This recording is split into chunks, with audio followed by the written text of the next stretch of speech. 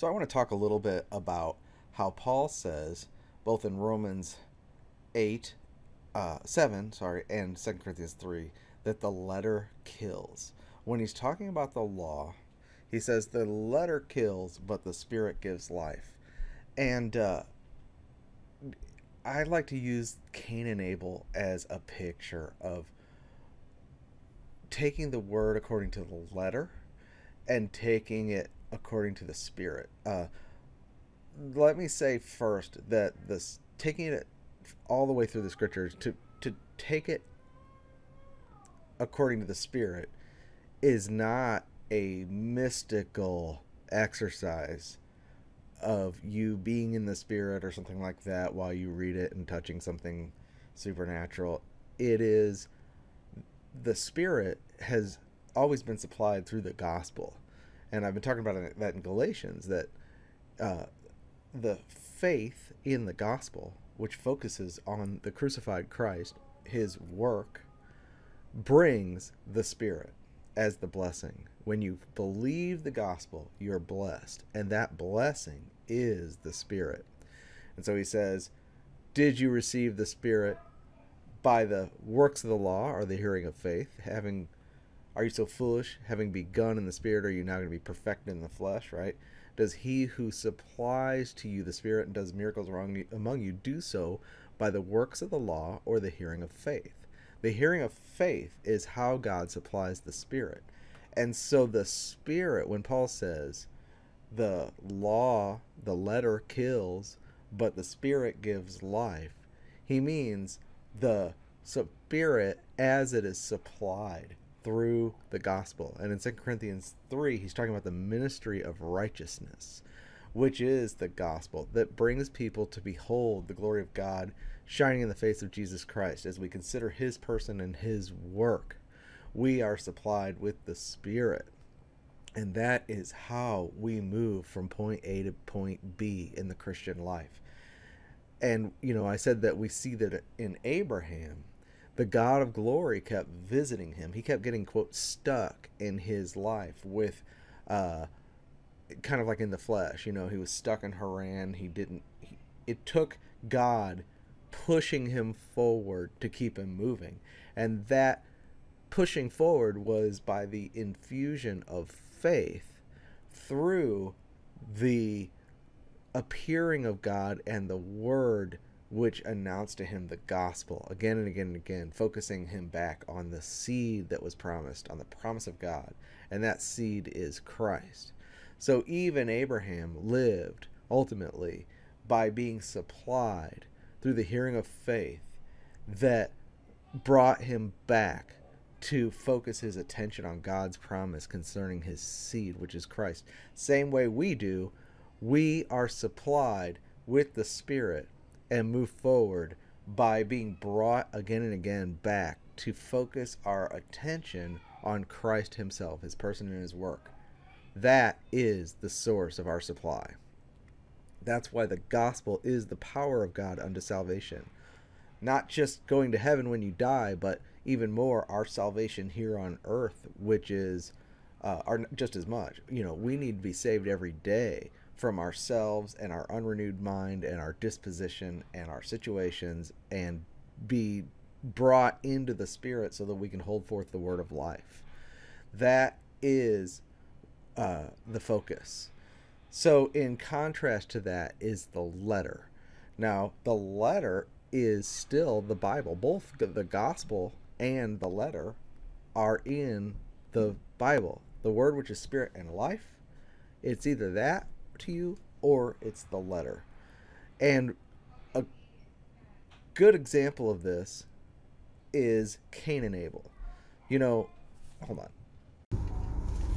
So I had to leave the house for a minute and take care of a couple things. Uh, so I'll have to splice these two together. Anyways, I was saying about Cable and a- Cain and Abel um, you know, when Adam and Eve uh, were sent out of the garden, they were told that they would have to toil, you know, and bring forth the fruit of the ground uh, for for bread, you know, out of the with the sweat of their brow, the toil and the effort of their labor, and that the ground was cursed now. So it wasn't going to bring forth fruit. They were going to have to work really hard at it.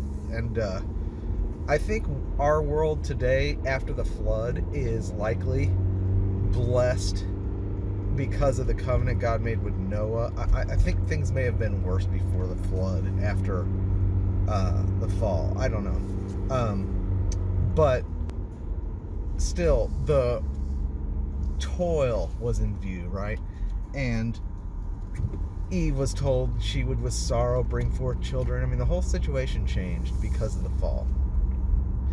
Well, those words would have been very powerful for them. I mean, that is the description of what their life is going to be like now, and it came from God. So they have that. But then, God, we know, slew an animal and uh, covered them with its skins. And we know that that's the first um, bloodshed in the Bible, the first death that they ever saw. And we know in a way it's substitutionary because they were supposed to die, and yet they didn't. They were covered by this garment of a creature that did die. But there was no explanation, at least the way the scripture records it, we don't see an explanation for that, right?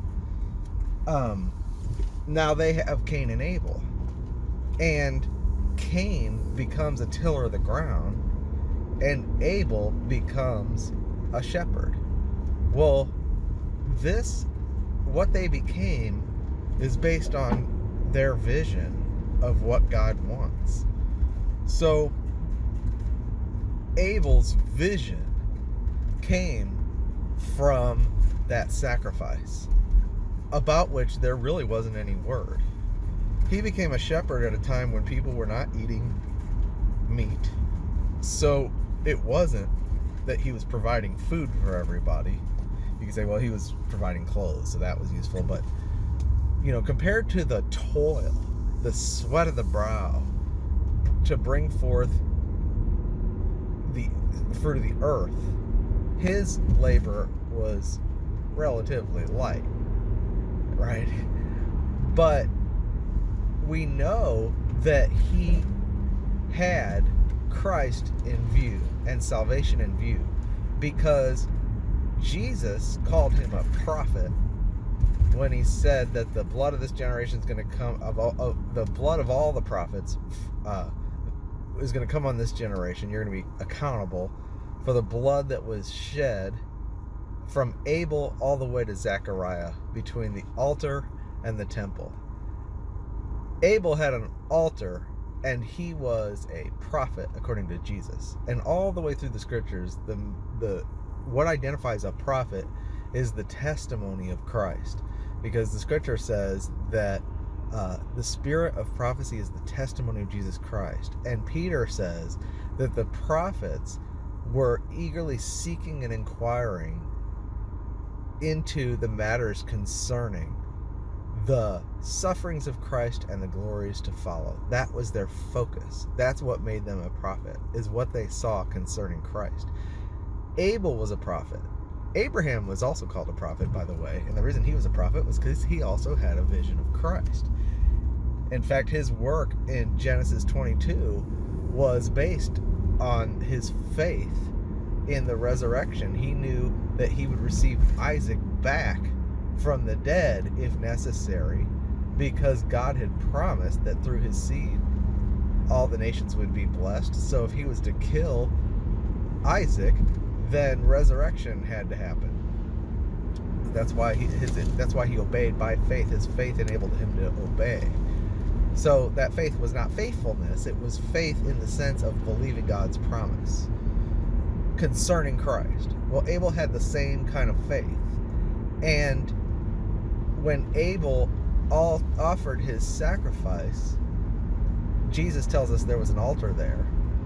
And he offered the lamb with the fat portion. Well, that prefigures the priesthood and the offerings uh, that God decreed through Moses. So, definitely, he knew what he was doing. And that was his righteousness.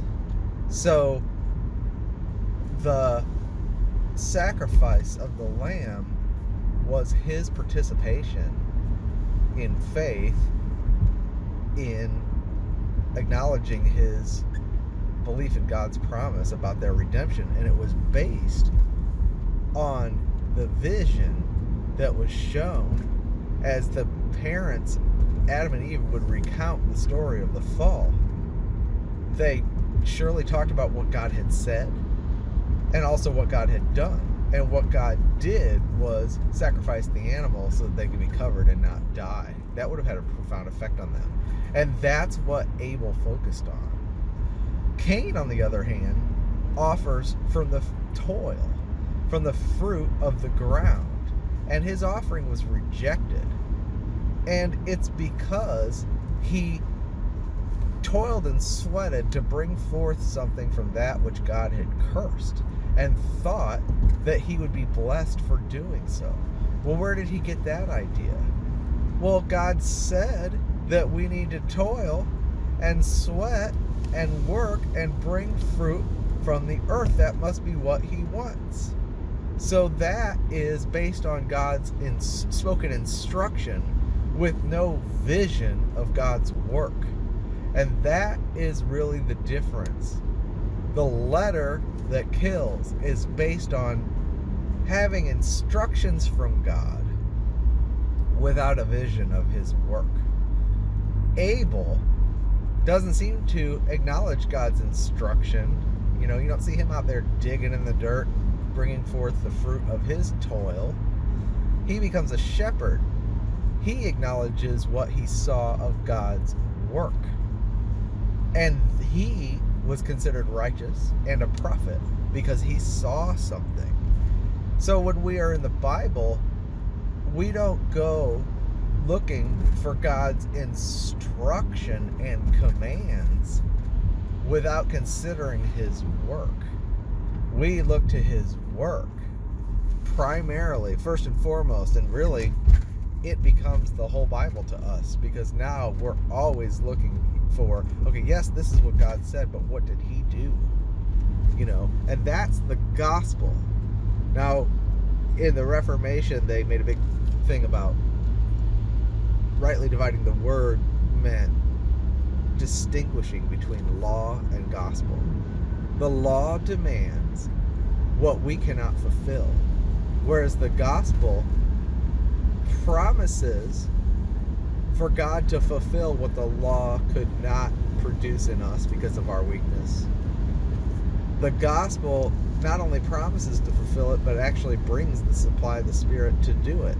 So I think John Bunyan said, you know, the gospel gives me wings to fly. And uh,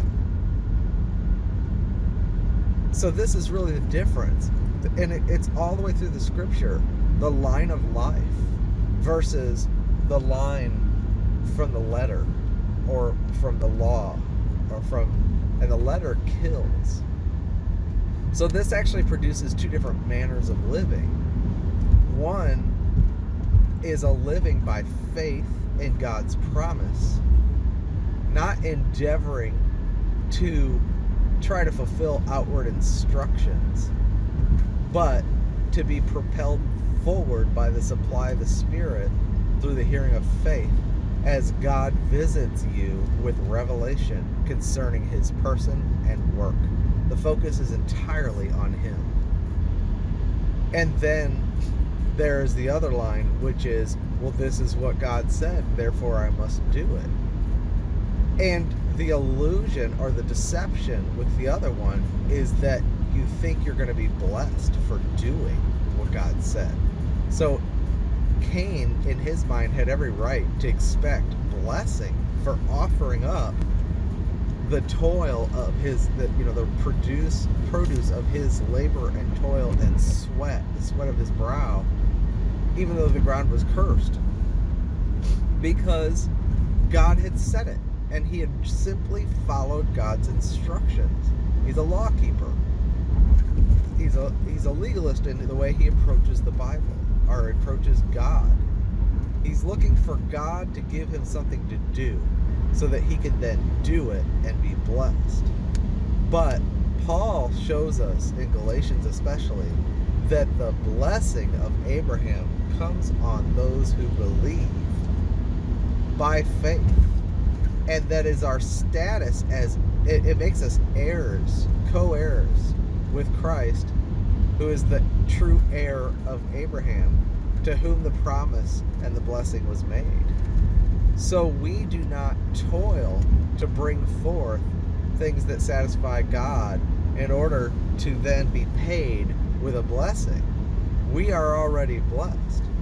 And it's to the degree that we see that we are blessed and our heart becomes thankful that we actually see uh, the fruit of it in our life, which is joy and peace. And doesn't mean we don't go through troubles and stuff, but we have a sense of blessing. And you know, Paul says we've been blessed with every spiritual blessing in the heavenlies in Christ. Everything that is in Christ is ours. We've already been blessed. We're not waiting for God to bless us. We're not looking for something to do so that God will respond to us by blessing as if that blessing is then a payment for our work. That's not, and, and so we increasingly get away from having a legalistic letter based approach of the Bible. So when we come to the Bible, we're not looking for some commandment to keep so that we can be blessed. And it changes your whole approach. You can relax. You, it actually brings a rest that actually causes you to relax, like physiologically, psychologically, as well as spiritually. You can relax. You know, when you're a legalist, you are toiling and sweating and laboring to bring forth something that God could bless. And you always think that you're not blessed, but you need to get. So it's always held out in front of you like a carrot that you have to strive for. And that's why it brings you into bondage. That's not our approach at all. Our approach is thank you, Lord. You have blessed me. You know, we give in the New Testament, we're not tithing so that we can get something from God. You know, he says, oh, see, test me in this, and I'll open up the windows of heaven and pour out a blessing that you can't contain. So everybody goes and gives 10% of their income because God said it, you know. And if you don't, you're cursed, right? That's law. No, I'm blessed. I have the blessing of Abraham. My whatever I put my hand to will prosper, and you know, I can be confident that God's taking care of me, not because of anything I do, but because I'm His child. And He provides richly. And honestly, I don't care about anything but food, clothing, you know, and housing. And with that, I need to be content. But He also adds more besides and continues to bless. And so when we give, it's just out of a generous heart, not a rule, but because we're free to give because we know more money's coming. It's God's money; He always provides, and so it gives you a freedom about your finances that's a little that's different. And I remember when I used to be a legalist about money, I was always in anxiety about money, even though I made a lot. I had a job um, in IT. I was a project lead, and I was making really good income finally, and that was a big deal for me because I was always poor, you know. But I always worried about money. I worried about losing my house and I had all kinds of financial anxiety and I was giving, giving, giving and tithing. And then we gave hundreds of dollars each week for food because my wife made breakfast for the brothers at the um, meeting hall, before, you know, just and all the meals because we were together 35 hours a week in this little church thing. And we were doing that thinking that if we stopped, the blessing would stop. And I always had anxiety about money. And then through a series of events, I lost everything really, and I stopped worrying. I said I give up. I'm tired. I don't care. All I want is make sure I'm eating, and make sure I'm clothed, and and God, God takes care of that. I lowered my expectation, but then God came in and started to bless me, and I even quit the job. I don't do IT anymore, and he has blessed and blessed and blessed and blessed and i give i do it is true i give less now than i used to because i used to give under obligation and fear now i do give but when i give it's just because i feel inspired to do so it's free will you know and i don't think that it's going to produce a blessing for me i'm already blessed So I'm not looking to sow in order to reap in that sense. Sowing to the Spirit means I'm believing the gospel and focusing my attention on that. And reaping eternal life, that all has to do with Christ and the Spirit. And then there's fruit, which means people being edified because there's someone who's got some freedom in Christ and he's happy about it. and He's sharing it spontaneously and they enjoy that. That's there's fruit out of that. But that's very different than thinking you need to work for God in order to get him to pay you back. You know. And when I made when when I finally got to a place where I could make that kind of transition, it really did free me up. I haven't worried about finances the way I used to worry about them. And every once in a while, you go, "Uh oh," you know, but it's really I God has always provided, and I've seen it. He's proven His faithfulness, and it's not because I've done anything. It's because I'm blessed in Christ, and that blessing, part of that provision, is that God is my Father, and He takes care of me. That may look like different things at different times you know uh, there may be a seasonal leanness or something but I, I, he's just been so good and i am so aware of it so that so that you know the coming to the bible as the letter produces an outward kind of christianity that is focused on me myself and i and i'm looking for something to do and I'm looking for commandments. When I come to the scriptures, it's entirely based on what what's God trying to tell me to do today. You know, what would Jesus do? Comes out of that kind of concept. It's totally an outward instruction, not something of God wrought into your being through Christ by faith by the Spirit, but you trying to be a doer of the word. Now, I know I keep coming back to it, but that comes back to James. You know James presents a so called practical Christian life that's based on the letter. It is, if you are a doer of the work, you will be blessed. What work? The work that the law instructs you to do. And so he who goes to the word and is a hearer and not a doer is a forgetful hearer, you know, he forgets what kind of, he's not going to be blessed.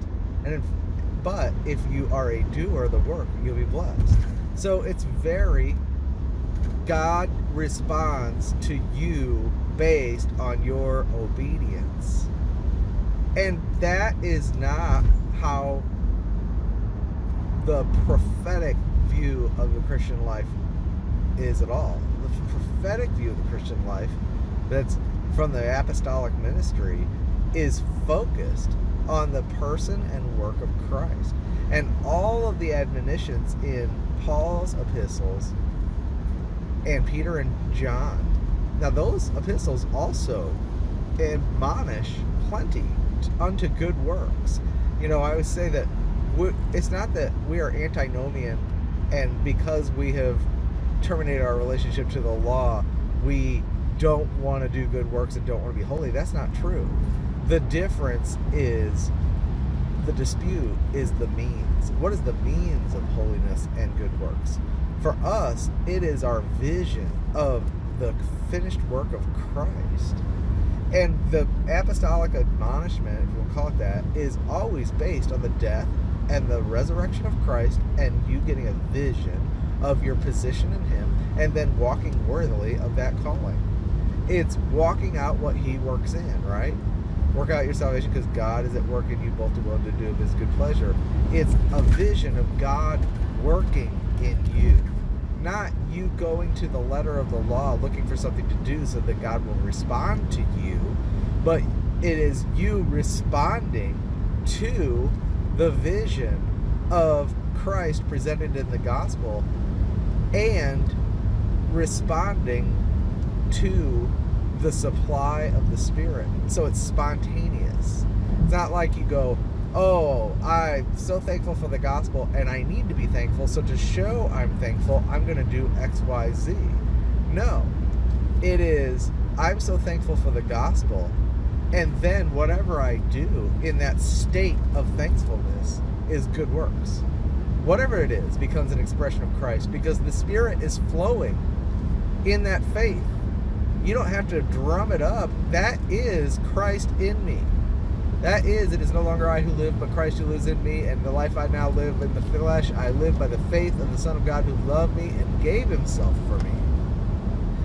It is a spontaneous thing where no matter what you're doing, whether secular or holy, it is all good works because Christ is flowing in you because your heart is satisfied with him by being focused on the truth of his testimony concerning his person and his work and really getting a hold of it and it becoming a vision that governs your life. That's what Abel had. Versus, you know, I need to show that I'm thankful and therefore I need to work. And if I work hard enough or good enough, God will bless me. But I can't expect any blessing if I'm not going to work. And that's where Pastor so and so comes from, you know. You need to get your work. That is not what God is doing in the New Testament. He's producing something where our feeling spontaneously matches His. And what we do as a person constituted with Christ automatically satisfies God. Uh, and we're relaxed about it and we're blessed. We're blessed first, and then we do. And what we do is not us, but Christ in us. And yet it's still us because we are the branch of the vine, as I keep saying. So I hope this helps. Um, I don't know if uh, I'll, I'll probably have to do more about this, but you know, this is the contrast of the law and the gospel. And you have to keep it real distinct. And when you read the Bible, you do have to get to a point where you learn to get the burden of the law off yourself. And the law consists not only of the Ten Commandments, but every demand God makes in all the scriptures. You know, you think that if you don't forgive this brother, God's not going to forgive you. Well, now you're putting, you're back in the old system. And you are trying to merit God's blessing by your work and that actually does not free you to love your brother and forgive him. It actually keeps you in the agony of the situation by getting you to focus on you and your situation, and now you're in the flesh, and it just strengthens the flesh. No, you forget about the brother for a minute and come to the Lord and enjoy Him and feast on Christ and look to Him and forget about my situation. Lord, I can't fix it anyway. I can't be my brother's psychologist or comforter. Only you can. I'm not his Christ and I'm not his Savior. If he's offended, I apologize, Lord. I can't fix that. If you show me what I can say to make the situation better, you know, flow through me in that way, change my heart. But until until that's happening, I'm just going to focus on you. Now that doesn't mean you go steal from somebody and don't give it back if you know you've wronged someone. I'm talking about the complicated situations where there's strife there and there's no way you can fix it and you're all entangled with it, you know. Your answer is not to try to sit there and deal with that situation. Your answer has to be Christ. And he has to save you from that situation and save that other person from it. You're not going to be able to once you've offended someone, you can't unoffend them. Only the Lord can do that. And we do offend each other all the time. So we have to be uh, aware, you know. So, um, anyway, just a side note, but just continuing to try to help describe these situations so that we can get more and more free from the legalism that we are ensnared in in various degrees. I don't know of anybody who is not a legalist at some level. We all are in either relationships or in our inward condition and how we feel or towards God's law, we are legalists. And we need to be set free by the knowledge of the truth. So I'm going to keep talking about that. See ya.